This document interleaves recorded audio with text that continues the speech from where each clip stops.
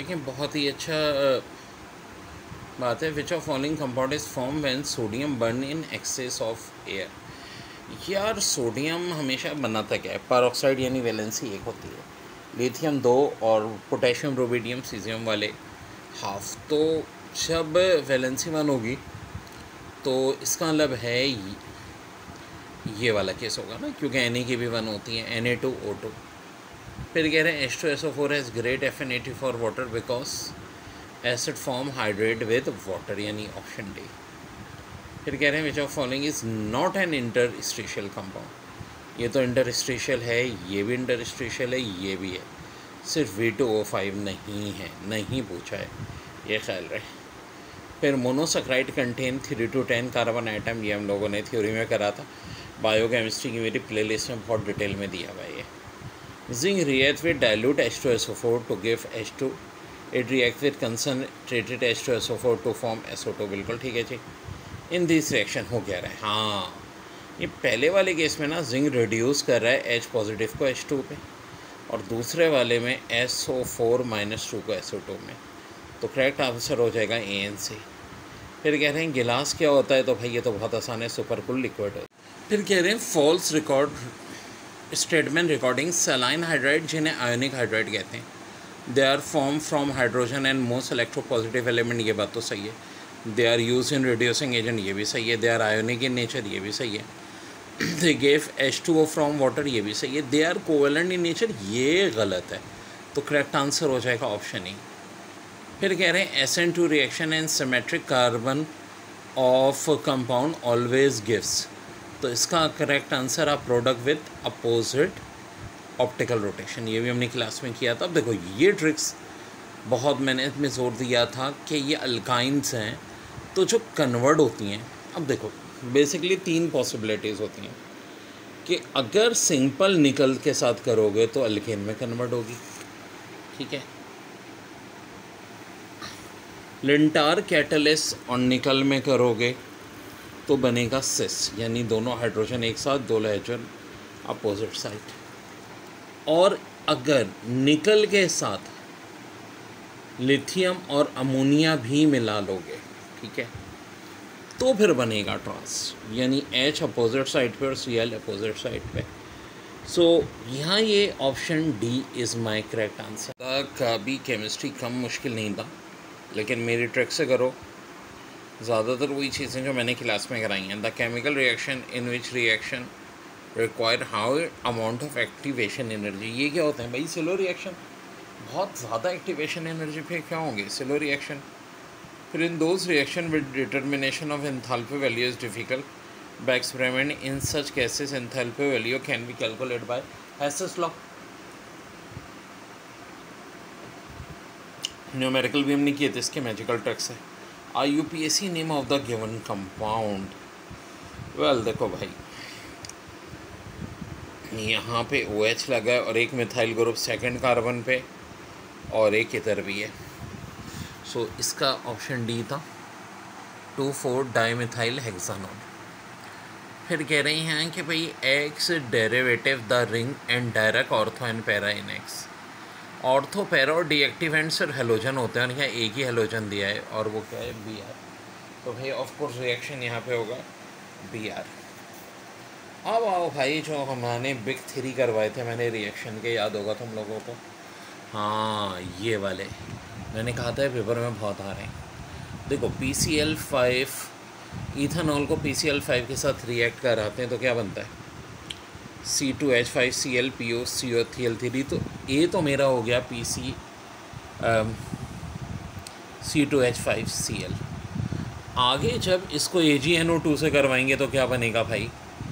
ये C correct होगा C two five N O numerical था chemical analysis of compound having molecular formula तो यहाँ वेट गलत दिया था 198 था, ठीक है। और देखो, ये करेक्ट ऑप्शन होगा क्योंकि दो ब्रोमीन है वेट 170 हो जाएगा 85 टू ज़ा ट्वेल्व टू ज़ा ट्वेंटी फोर और वन फोर ज़ा तो 198 इसका आंसर आएगा बच्चों। ऑप्शन की मदद से कर लेंगे। Which is not the characteristic of pi bond. Pi bond form when sigma bond already सो भी ये तो करेक्टरिस्टिक है। Pi bond result from the lateral overlapping of atomic orbital pi bond are formed from hybrid pi bond may be formed by the overlapping of p orbital तो ये तो सारी characteristics हैं तो भैया नन ऑफ़ अब of होना चाहिए था ठीक है फिर which of the following statement are true बहुत सारी गलतियाँ थी इस पेपर में जैसे कि इसमें भी देखें करेक्ट आंसर इनकी आंसर जो की में था at constant temperature more S O two form at equilibrium if total pressure is increase भाई, कैसे हो सकता है? प्रेशर इंक्रीज होने पे तो वहाँ जाएगा जब नंबर ऑफ़ मोल्स कम होंगे। वैसे भी एक्जोथर्मिक रिएक्शन होता है। तो इस वाले में भी सारे ऑप्शन देखिए, और बड़ी अच्छी अच्छी एम सी क्यूज़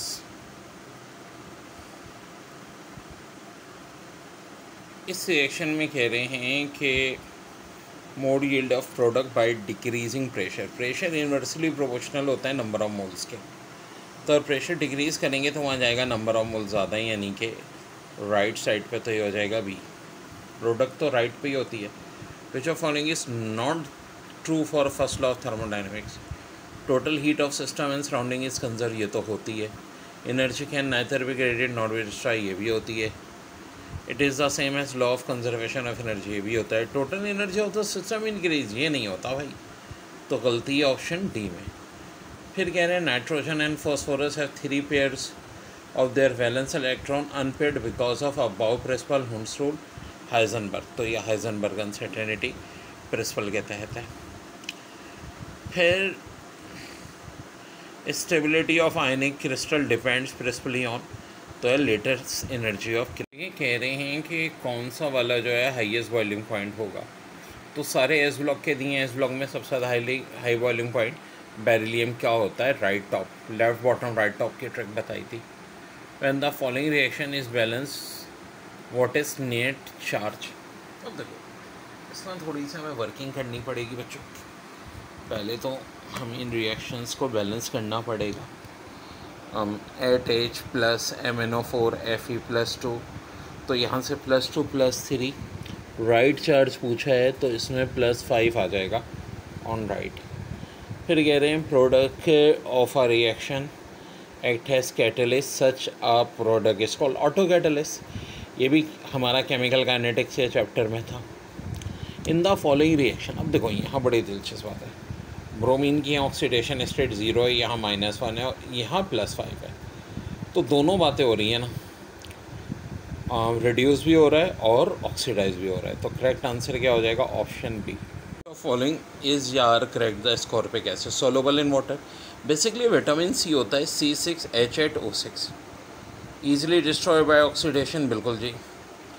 इस deficiency cause anaemia it helps in healing the wounds all of the above तो ऑफ़ कोर्स आंसर होगा ऑल ऑफ़ द अबव फिर कह रहे हैं catalyst is use in the reaction yes ये फॉस्टीन को जो हम बनाते हैं क्लोरोफॉर्म से बच्चों तो नेगेटिव कैटलिस होता है और ये हमारी बुक का ही रिएक्शन है। कैटलिस की एक अलग से मैंने वीडियो भी दी थी और पढ़ाया तो भी था। टू परसेंट एथाइल अल्कोहल में नेगेटिव कैटलिस फिर reaction C L two plus H two O S C L plus H O C L is an example of भाई, ये क्लोरीन के टॉपिक में हमने पढ़ा था पी ब्लॉक एलिमेंट की मेरी प्लेलिस्ट में भी है। Auto oxidation and reduction reaction variable oxidation state of transition compound is due to तो देखो, इसका करेक्ट आंसर ये थोड़ा सा ना इन्होंने ऑप्शंस में मिस्टेक हो गई थी। होना चाहिए था large difference between four S and three D orbitals ठीक है भाई? फिर उसके बाद है lower part of solver process has been cooled during the manufacture of soda ash. तो ये एस ब्लॉक एलिमेंट की प्लेलिस्ट से मैंने सॉल्व कराया था पूरा। It decrease the solubility of sodium bicarbonate is my answer